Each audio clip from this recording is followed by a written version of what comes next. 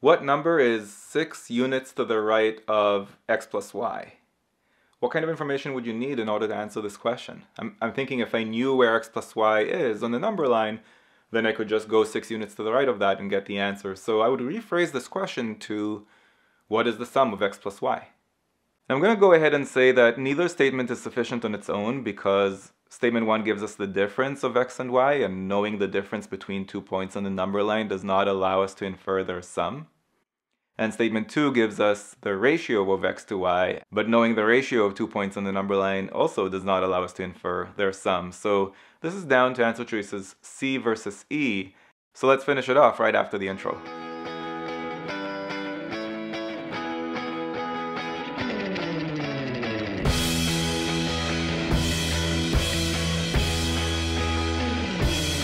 When we combine statements, we know two things. We know the difference between x and y, and we also know their ratio. So the question we have to ask ourselves is, if I know the difference of two numbers on the number line, and I also know their ratio, would that be enough to infer their sum?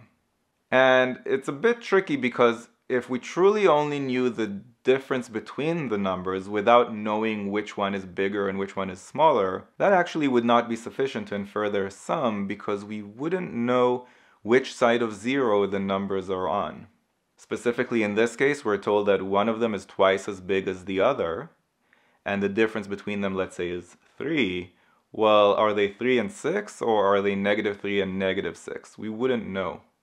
But statement 1 doesn't just give us the difference between them, it also implies which is bigger and which is smaller. The smaller of the two numbers is also the number that's twice as far from 0, and of course we know the two numbers are on the same side of 0 because their ratio is positive. We can infer that these numbers sit to the left of 0 in the number line. In this case specifically, they'd be negative 6 and negative 3, and so their sum would be negative 9, and so the thing that the question is asking about, which is 6 units to the right of that, would be negative 3.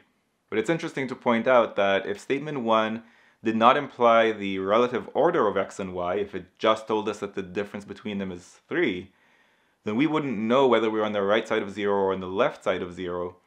And then we'd actually get two different possible answers to the question. We'd have the negative 3 from before, and we'd also have 15, because if x and y are both positive, such that one is 3 greater than the other and the ratio is 2 to 1, well then there'd be 3 and 6, whose sum is 9, and the point that's 6 units to the right of that is 15. So again, in this case, because we were given the relative order of x and y, we were able to infer which side of 0 they're on, and for that reason there's only one possible answer to this question, and therefore the correct answer is C. If you found this video useful, go to quantreasoning.com for a lot more where that came from. You should also click that like button and let me know in the comments below what you'd like me to make future videos about. And of course, if you haven't yet subscribed, go ahead and do that and click that bell below so you get notified about future videos. See you next time.